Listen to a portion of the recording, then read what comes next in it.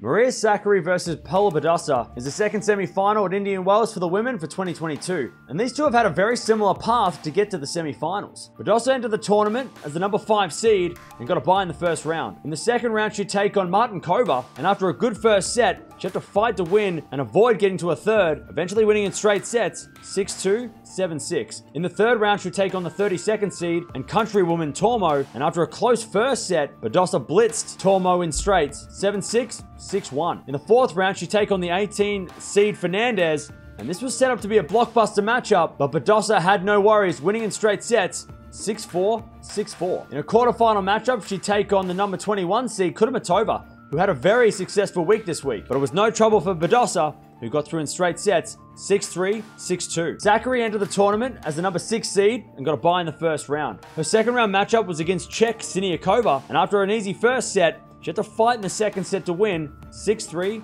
7-5. In the third round, she take on the 27th seed, Petra Kvitova. And after winning the first set, she blitzed Kvitova in the second, going through in straight sets 6-3, 6-love. In the fourth round, she take on the qualifier Saville, who had had a very impressive run to get to this stage. But unfortunately for Saville, it was one too many matches, and Sakkari ended up getting through thanks to her retirement, 4-1 in the first set, with Saville retiring. In a quarterfinal matchup, she'd take on the 17 seed Rybakina, and after a close first set, having to fight back to get it, she ended up getting through in straight sets 7-5, 6-4 to advance to the semifinals. Both these players have made the semifinals without dropping a set this week, the only two out of the four semifinals not to drop a set all week, and both players have been very, very impressive. They've only played the once before, that was actually at the WTA finals last year, in Guadalajara, and it was a straight sets win to Badosa, but it was a very close straight sets win, a tiebreak in the first set. So I'm expecting something of the same this time. If Badosa's going to win, she needs to serve well, and the forehand needs to work. That's what was so impressive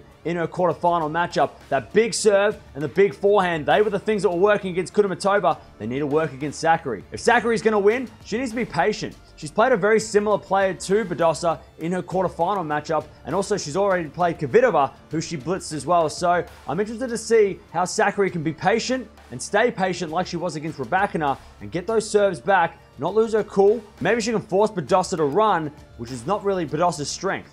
Just like the other semi-final, this is a very close call, but I'm going to go with Sakkari to win this one, defeating the defending champion, but it's going to be a close three-setter, maybe a tiebreaker in the third, that'd be great. But let me know down in the comments below, who do you think is going to win this semi-final?